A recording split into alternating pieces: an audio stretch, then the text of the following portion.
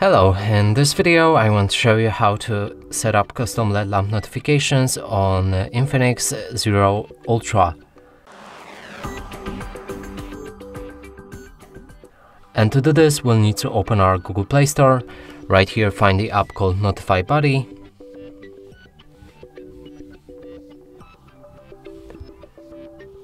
Select it and download it.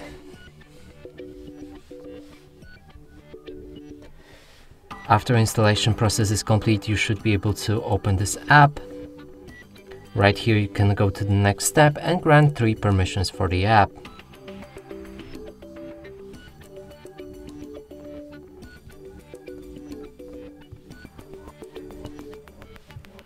The last right here is battery optimization and it's optional to disable it, so I'm gonna skip it and proceed. From here we can start using this app and now select any apps uh, for a custom LED lamp notifications. So let's go with photos and parental controls for example. There's also system and you can see all system bound apps right here.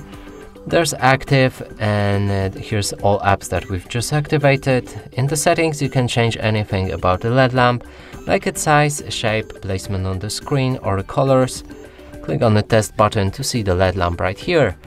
And that's it for this video, hope you like it, please consider subscribing to our channel, leave a like and a comment below.